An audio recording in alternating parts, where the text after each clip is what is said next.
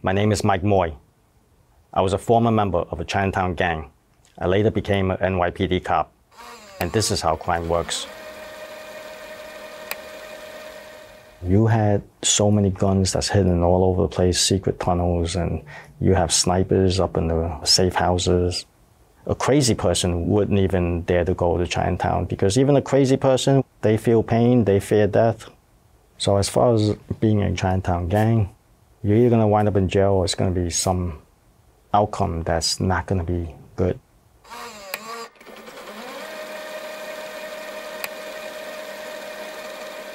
So I was only 16 when I joined the gang, and it was one of the notorious Chinatown gangs during that time. There were a lot of rivals. In the 1970s, the Ghost Shadows and the Flying Dragons, those were the two main gangs. Eventually, you had the White Tigers, the Tung On gang, the Fuk Ching, the Green Dragons, and the BTK. The violence between the gangs, I wouldn't say it's because of territory. I would say it's because of uh, respect. Any form of disrespect warrants a killing, a shooting. Remember, these kids are young, 13, 15, 16 year old kids. All they want is for people to show them a little respect. Maybe it's because they insecure about themselves or they have a low self-esteem. It's all about respect, and a lot of people died because of disrespect. When we were in the gang, most of us at one time or another had some sort of interaction with the Italian mafia. Even I myself in my early 20s were dealing with guys in their 40s and 50s, but these Italian, young Italian teenage kids, they're the ones who were a problem to us. And there were some shootings where some of uh, our guys, we killed some of them. They walk around with their bats and canes and, and want to be tough, and they didn't know who they were messing with because we were never afraid. You know, we were like, we felt we were invincible.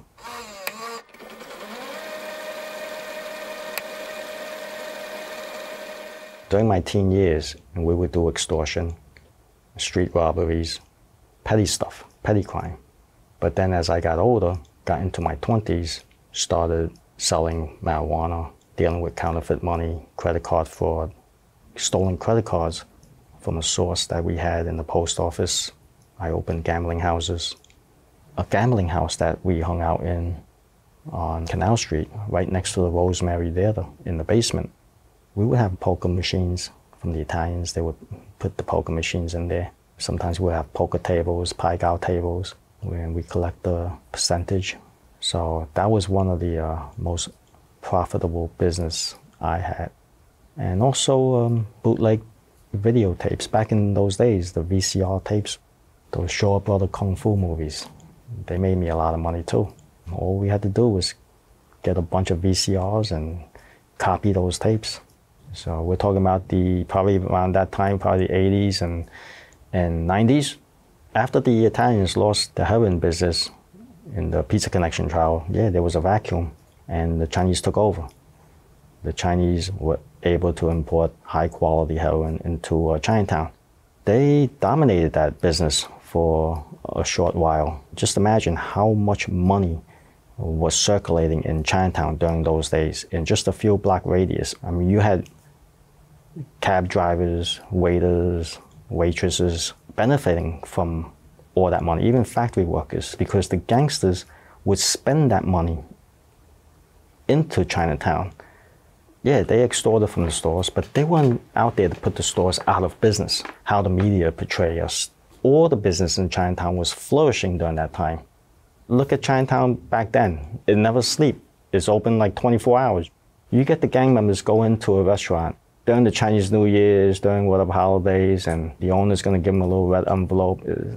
It's just a little piece of what they're giving, less than what they probably pay for the garbage disposal, right? To the Italians, you know, we did protect the neighborhood. And I even have personal experiences protecting the businesses, you know, doing what I needed to do back in those days to uh, protect the business owners from getting bullied by people who didn't even know better. Some of those people will remember me for the rest of their life.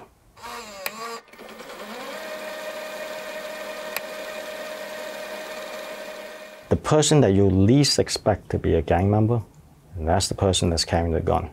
So when we travel in a group, For example, we go into a pool hall and we're shooting a pool. There'll be a kid in the corner of the pool hall watching over us, and that's the kid that has the gun. There could be a targeted hit where, okay, you're gonna go get this person and kill this person, yes, but a lot of times uh, when they're in the streets, you can't control what they do. It's very easy to get a gun back in those days. I know uh, in the 70s they had um, a source with the Italians getting guns from the Italians in the 80s and 90s. It wasn't that difficult to go out of state and buy a gun. Just show your ID and you just in the flea market and you just buy a bunch of antique guns.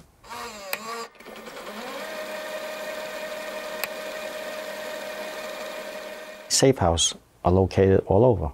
We had safe houses in Brooklyn, by Williamsburg, one by Midwood, Queens, by Woodhaven. So we had several places where we hold our meetings. At any given time, there could be as much as uh, 10, 15 people in that apartment, uh, sleeping there, living there. We kept it very low key, a side entrance, so it doesn't appear to be a lot of people going in and out. So the runners will go out there and buy whatever is necessary, whether it's food or, or drinks, uh, whatever they need. Generally, the police wouldn't even care about these things. What they care about are guns. But luckily, uh, we hid our guns in a way where the police couldn't find it. One of the ways what we did was we were on the second floor. So we were tying a string and lower it down to the first floor. So all you see was a string you know, on the floor. But who would expect when you pull up that string, there's a gun there? There's so many secret tunnels and places for them to hide guns. As far as the tunnels, you had them on uh, Street, Bayard Street, Canal Street, Pell Street, Doyer Street, like these places. Those tunnels was used as a form of escape. After you do a shooting, you just run into the tunnel and just come out from the other side of the street. That's why there's so many cold cases in Chinatown.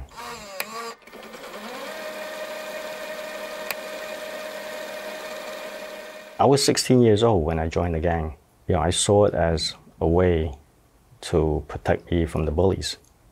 During my years in school, I was like the only Asian kid. So I was a victim of bullying. How did I become a member of the gang? Initially, I started hanging out with them. When they started to trust me, they know I was able to do things for them. That's when I um, got accepted. And they would give you a nickname, such as like Big Head, and say, hey, you have a big head, so we're going to call you Big Head. His Onion Head nickname came from his hairstyle. You know, the newspaper and journals claim that Onion Head's nickname came from if you uh, betray him, he'll give you tears. That's why they call him Onion Head, but that is not true. He looked like an onion head with his haircut back in those days. They tried to give me a nickname. I put a stop to it. You know, I'm that type of person. Uh, I like to stay under the radar, keep a low profile, and I was firm about it, and they respected that. But what they call me behind my back, that's another story. and we did an initiation ritual together with two other members. We kneeled down and we lit up the incense. Uh, we poured wine in front of the General Kwan and to give him an offering. In the wine was our blood we picked our fingers. After the initiation, uh, we felt like a certain bond, like a brotherhood.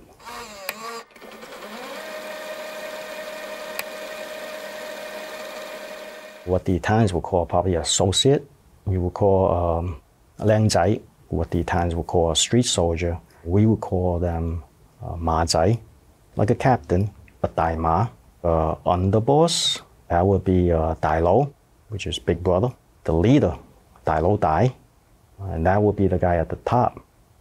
So how does one become a Dai Lo?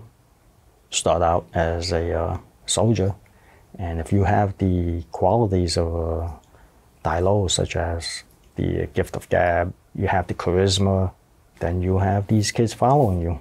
You spend money on them, and once you have a crew, you become a Dai Lo. The Dai Lo would give the money to the Daima, that goes to pay for everything as far as entertainment, food, expenses, the safe house, paying the rent. The money trickles down to us. Unlike the Italians, where the money trickles up, they have to pay for our loyalty. What we do in the streets, we basically enhance their reputation.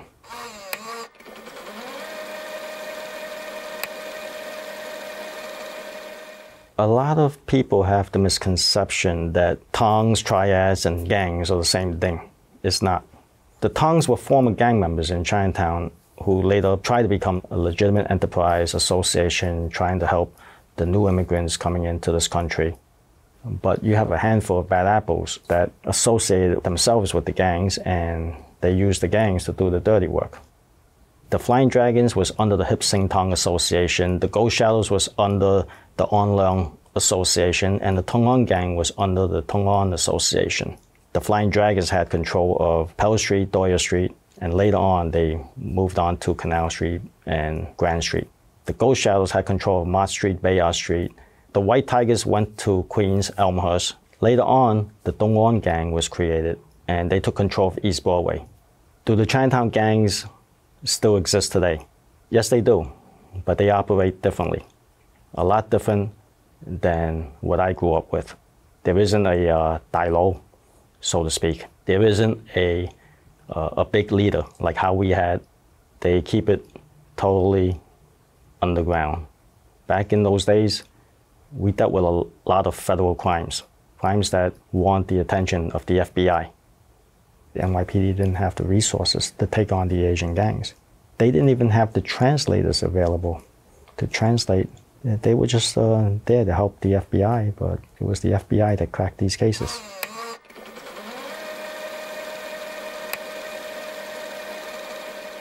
It was around 1993. The FBI started rounding up a lot of people, and that's when it started falling apart. The people at the top was getting locked up so the people at the bottom didn't know what to do. Most of the gang members were arrested by the feds, or they were killed or in prison. That's when I made the transition. And in order to make that transition to go into the NYPD, it had to be like a light switch. It was like an on and off switch. It was either all or nothing. You know, I grew up watching Baretta, Kojak. What happened to Steven McDonald, if you follow his story, he forgave the kid who shot him. And when Steven McDonald mentioned that this kid was a product of his environment, did a lot of self-reflection, and I see that how I grew up, you know, it made me who I am, and I, maybe I need to change. So I joined the NYPD in 1995, but the gang was always there for me up until that day. When I took the oath, I left everything behind. I was assigned to work in Chinatown, so I didn't expect to be working in Chinatown, my old stomping grounds as a gang member, and that was um, a little bit nerve wracking because what would happen if I bumped into my rivals or my fellow gangmates? And it did happen. I bumped into my rivals in uniform. I bumped into my former gangmates in uniform. Even when I was uh, assigned to the detective squad and I got promoted many years later, some of these uh, guys came out from prison and I was assigned to arrest them. Some of them couldn't make a living, so they started doing home invasions and robberies, robbing uh, stores and taxi cabs and whatnot. Uh, they started in getting involved with different type of rackets now. Uh, they didn't get involved with the heroin trade anymore because the feds were watching that so they got involved with other things like the transportation business, the dollar vans, the bus going out of state. They still did their gambling houses and the prostitution houses were run differently as opposed to back in those days where you would go into a prostitution house and you would see 10, 15, even 20 girls. So what they did was they uh, broke it up into like uh, an apartment, you know, and they would only have like maybe one or two girls the gangs were operating a lot differently. Nobody wanted to call themselves a Tai Lo anymore.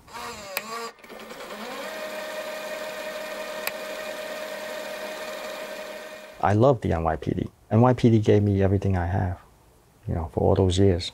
It's just that I had a bad experience while working with some bullies in the NYPD. That left a bad taste in my mouth. So it was time for me to leave I left July of 2021 after over 26 years. I started this channel called Chinatown Gang Stories to get these stories from former gang members who lived the life because there's a lot of misinformation out there. A lot of the information came from non Asians, uh, movies, authors, and documentaries. My channel will give you an accurate description of what really happened in Chinatown back in those days. What that I learned from being in a gang, just don't do it.